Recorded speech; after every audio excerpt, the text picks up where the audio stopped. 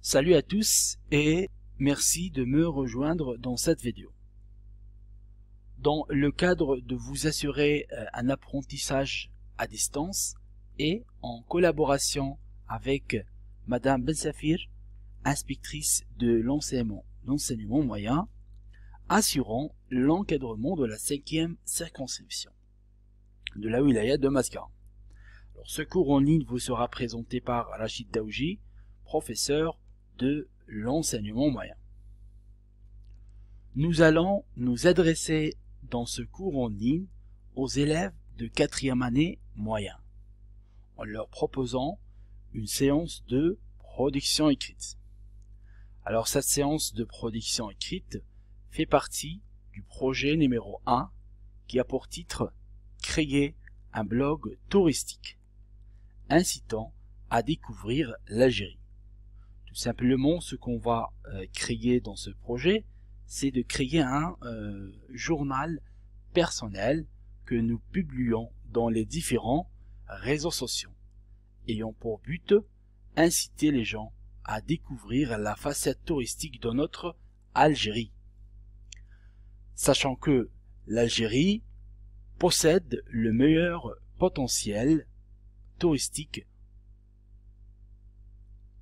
et qui dit potentiel touristique dit des endroits, des lieux, un patrimoine et une histoire très riche.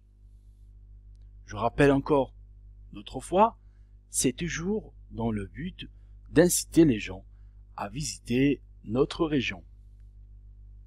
ce que vous allez euh, acquérir et arriver à faire à la fin de ce projet, c'est de produire oralement et par écrit des textes et des énoncés argumentatifs en insérant des passages descriptifs, c'est-à-dire argumenter en guise de la description, en utilisant la description. La séance de production écrite est, euh, fait partie aussi de la séquence numéro 2, qui a pour titre aussi Gloire à nos ancêtres. Ce qu'on va faire dans cette euh, séquence, c'est de produire des arguments pour étayer une thèse, produire des arguments pour développer une opinion ou bien un point de vue. Revenons euh, très brièvement au titre de cette séquence, Gloire à nos ancêtres. Là, on va évoquer, euh, on va évoquer de l'histoire dans cette séquence, comme vous avez vu dans les différentes séances de cette euh, séquence, on a vu, euh, on a décrit, on a euh, les, le courage et la bravoure de nos ancêtres, tels que l'émir Khaled, tels que euh, Lala Fatima Summer, dans la séance de compréhension de l'oral, où on a vu le courage et la bravoure d'une telle femme résistante qui a pris le commandement de toute une révolution face à une telle armée, l'armée française. Alors, maintenant, on va voir, on va citer les, euh, euh, les objectifs d'apprentissage de cette séance. Il est important, mes élèves, de préciser que la séance de production écrite est systématiquement obligatoire dans l'enseignement en général et euh, dans euh, l'enseignement de la deuxième génération, afin de faire les points sur les acquis et les notions déjà vues dans chaque séquence. De manière générale, la séance de production écrite euh, vous permet tout d'abord à vérifier si vous avez atteint les objectifs fixés par votre enseignant. Elle permet aussi à votre enseignant de réguler et d'adapter les prochaines séquences d'apprentissage selon vos écrits, mes élèves, et afin de vous accompagner vers la réussite. Très bien. Alors, comme toute autre séance, la séance de production écrite se déroule en, euh, en euh, trois étapes. Alors, citant euh, brièvement aussi, expliquant aussi les trois étapes de cette séance, c'est euh, premièrement, on a la phase d'observation et de lecture. Dans cette phase, on va observer, on va observer euh, le, le sujet qu'on a entre les mains et on va le lire afin de dégager le, le thème. Deuxième phase, c'est la phase d'analyse et de compréhension. Alors, cette phase est très importante dans notre euh, production écrite. C'est le fond du travail. C'est l'analyse et la compréhension. Et la conceptualisation, c'est-à-dire c'est là où on va construire nos, euh, nos idées. Très bien. Et enfin, on a la phase d'écriture, dite aussi la tâche. C'est là on va faire la tâche euh, demandée euh, dans la consigne de ce sujet et en, en appliquant les critères de réussite. Avant de débuter notre séance, mes élèves, je vous conseille d'être très attentif et de bien suivre avec moi les étapes suivantes. Je vous demande aussi de prendre un cahier d'essai et un crayon et de suivre avec moi mot par mot. Je vous rappelle aussi que vous pouvez mettre la vidéo en pause et de prendre votre temps en lisant et en analysant bien euh, notre sujet. Alors mes élèves, commençons avec un léger rappel de la séance précédente où vous avez établi euh, vous avez établi une première ébauche de plan en structurant nos idées au propre. Alors commençons avec euh, euh, la première partie de cette séance, c'est observer et lire attentivement le sujet.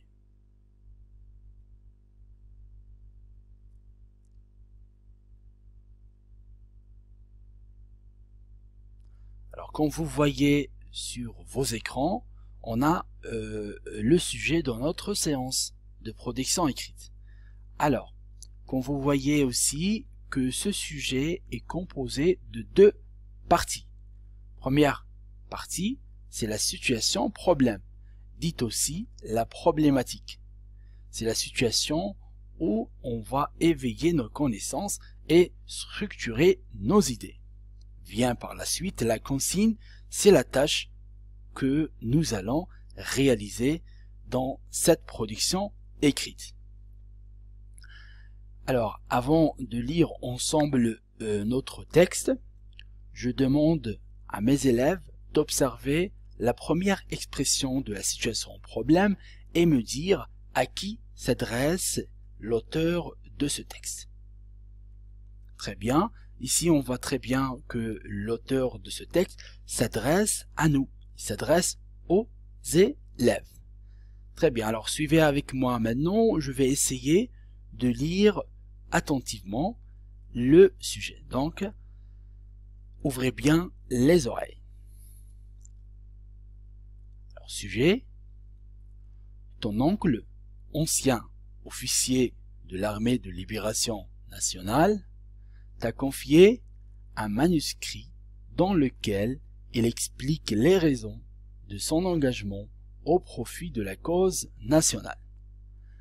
Malheureusement, tu as égaré une partie du document. Ne subsiste que le début et la fin de son témoignage.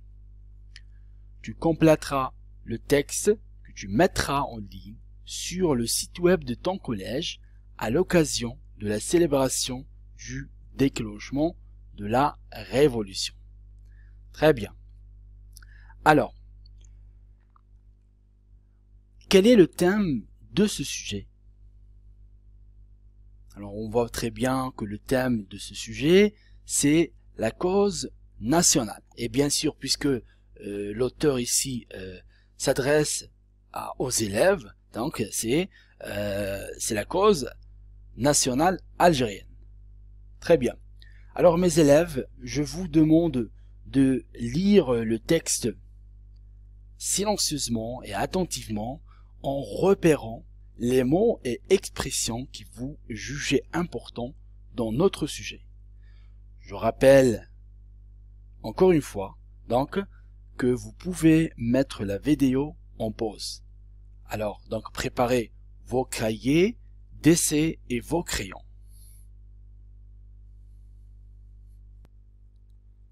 De retour euh, mes élèves, et j'espère que vous avez fini vos travaux. Alors dans cette deuxième partie de la euh, séance, nous allons passer par l'analyse et la compréhension de notre sujet. Alors on va corriger ensemble la situation problème, alors en, lisant ensemble le texte. Donc, ton oncle, ancien officier de l'armée de libération nationale, t'a confié un manuscrit. Regardez ici, on a souligné le mot manuscrit. Alors, veut dire quoi le mot manuscrit? Alors, le mot manuscrit est un document qui est écrit à la main, un, un écrit précieux par son ancienneté et sa rareté. Alors, continuons, dans lequel il explique les raisons. Vous avez ici, alors, un manuscrit et le mot raison. Alors le mot raison veut dire preuve par discours et par argument. C'est une cause ou bien un motif. Alors construisons euh, d'abord notre première idée. Alors ce que vous avez entre les mains, un manuscrit euh, qui contient des, des raisons. Très bien. Continuons. Alors ces raisons, euh, les raisons de son engagement au profit de la cause nationale. Malheureusement, tu as égaré une partie du document. Alors, regardez ici, on a souligné toute la euh, l'expression tu as égaré une partie du document. C'est là que le problème se pose. Alors, reconstruisons l'idée. Alors, vous avez un manuscrit euh, que votre oncle t'a donné, alors ce manuscrit contient des raisons, alors les raisons de son engagement au profit de la cause nationale. Malheureusement tu as égaré une partie, c'est-à-dire il y a une partie manquante dans ce manuscrit. Il reste que le début et la fin de ce témoignage. Très bien. Alors passons maintenant à la consigne. Tu complétera le texte. Regardez ici, on a souligné le mot complétera. Le mot compléter. Ce qui nous demande ici dans la consigne est de compléter le texte. Alors, reconstruisons nos idées de nouveau. Alors, on a un manuscrit dont les raisons sont manquantes. Et là, dans la consigne, nous demande de compléter. Donc, tout simplement, nous allons produire des raisons. Et comme on l'a déjà expliqué, le mot raison veut dire argument. C'est-à-dire, on va rédiger des arguments. Alors, c'est quoi argumenter? C'est présenter des arguments. Prouver par argument. Donc, on va produire un texte argumentatif. Commençons tout d'abord par la syntaxe du texte argumentatif, argumentatif de notre texte. Alors, dans ce texte-là, l'auteur est subjectif. Donc, on trouve les marques de subjectivité. Alors, la marque la plus évidente de subjectivité, c'est la première personne du singulier le jeu est la première personne du pluriel, le nous. On trouve aussi les verbes et les adverbes qui expriment l'opinion, le doute et l'incertitude. Et aussi, on trouve les formules qui prennent en charge les idées. Par exemple, selon moi, d'après moi et pour moi. Alors, Maintenant, on va passer à la structure de notre texte. Alors, le texte qu'on va produire, bien sûr. Alors, rappelons mes élèves que le texte argumentatif sert à convaincre. Il se compose de trois parties. Première partie, dite introduction. On trouve dans cette partie le thème et la thèse. Alors, c'est quoi un thème? Le thème, c'est le sujet ou bien c'est l'idée générale du texte. La thèse, c'est le point de vue de l'auteur. Dans ce type de texte, l'auteur commence par donner son point de vue ou prendre position sur un sujet ou bien un thème. Alors la deuxième partie, c'est euh, le développement. Cette partie est constituée des arguments, c'est-à-dire c'est là où repose la thèse. Dans le développement, chaque argument fait l'objet d'un paragraphe. Généralement, on trouve deux à trois arguments dans un texte argumentatif, c'est-à-dire un texte adapté à votre niveau. Alors, la troisième partie, c'est la conclusion. Alors, sert à rappeler le sujet de ce texte. Alors, on fait un petit rappel ici du sujet de ce texte en affirmant ou bien en confirmant la thèse défendue dans l'introduction. Alors, bien sûr, c'est à travers les arguments cités dans le développement. Alors, ceci était une brève explication du texte qu'on va produire. je rappelle encore une fois que j'essaye d'aller tout doucement de façon à vous simplifier les démarches à suivre. Nous allons maintenant passer à la troisième phase. C'est la phase d'écriture. C'est là où on va réaliser notre tâche en appliquant les différents critères de réussite. Mais avant cela, voyons voir notre texte à compléter. Comme on vous l'a déjà mentionné dans la situation problème, le manuscrit que vous avez entre les mains est manquant d'une partie. Et quand vous voyez sur vos écrans, la partie manquante, c'est le développement. Il nous reste que le début, l'introduction et la fin, la conclusion de ce manuscrit. Lisons ensemble l'introduction et la conclusion de ce texte. Introduction. Très tôt, j'ai compris que l'occupant n'allait pas nous offrir l'indépendance. Il fallait, coûte que coûte, que cela change. Finalement, je n'ai pas regretté mon choix, car, je te l'ai dit, il fallait agir pour mettre fin à l'occupation. Rappelons que le thème de ce texte est la cause nationale, c'est-à-dire on va produire des arguments en faveur de la cause nationale. Très bien. Alors en décrivant les circonstances, et les causes quand poussez votre oncle à s'engager dans l'armée de libération nationale. Pour réussir ton travail, tu dois insérer, utiliser et respecter les critères de réussite. Et aussi, afin d'obtenir une bonne note dans ta production. Tout simplement, euh, ton écrit doit contenir les différents points de langue que tu as vus dans la séquence courante, c'est-à-dire la deuxième séquence. Alors commençons tout d'abord avec le premier critère, les connecteurs d'énumération. C'est ce que vous avez vu dans euh, la séance de vocabulaire. Alors, ces derniers euh, servent à enchaîner les arguments et euh, les idées d'un texte argumentatif. Par exemple, pour le premier argument, on a d'abord, en premier lieu, et d'une part. Pour le deuxième argument, on a ensuite, en second lieu, et d'autre part pour le troisième argument, on a enfin, en dernier lieu et d'ailleurs.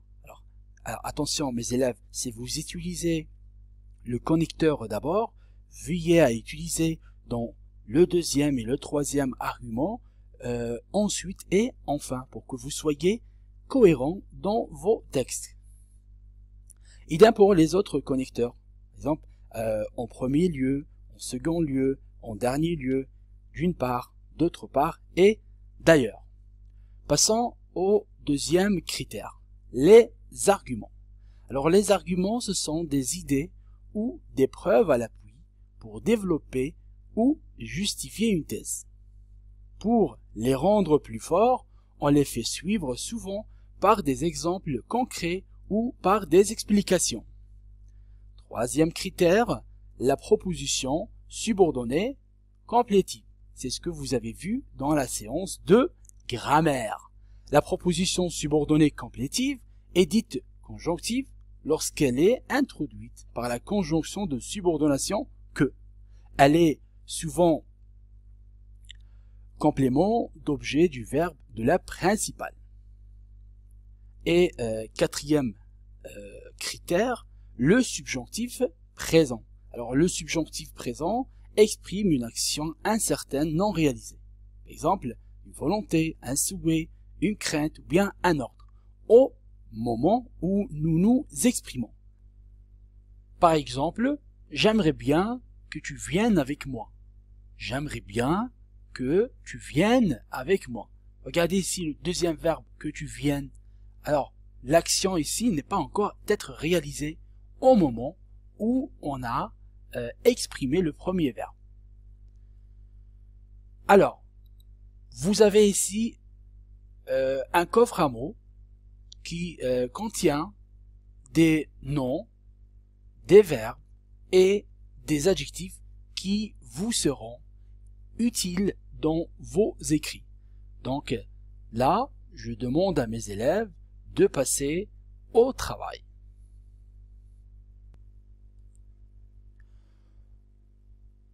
Notre séance vient de terminer, mais avant cela, je vous invite mes élèves à découvrir un produit, bien un texte qui répond aux critères de réussite de notre production.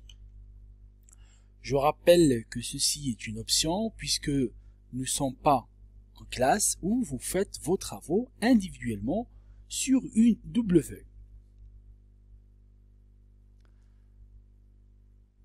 Voici sur vos écrans un texte modèle, une rédaction euh, que nous allons la lire ensemble. Très tôt, j'ai compris que l'occupant n'allait pas nous offrir l'indépendance. Il fallait, coûte que coûte, que cela change. D'abord, j'ai décidé de, prendre le maquis, car la politique du colonisateur était violente et sanglante. Par exemple, événements du 8 mai 45 où le peuple algérien protestant son indépendance pacifiquement a été opposé par des tirs vifs tuant plus de 40 000 victimes innocentes. Ensuite, la France voulait que l'Algérie soit française et que les Algériens soient ses esclaves. De plus, l'ennemi œuvrait à nous dépersonnaliser en censurant notre langue. Enfin, la force, c'était la seule langue que l'ennemi comprenait. En effet, ce qui avait été pris de force ne pourrait être repris que de force. Finalement, je n'ai pas regretté mon choix, car, je te l'ai dit, il fallait agir pour mettre fin à l'occupation. Très bien mes élèves, j'espère que cette séance vous sera utile et j'espère euh, vous voir dans euh, prochains cours en ligne.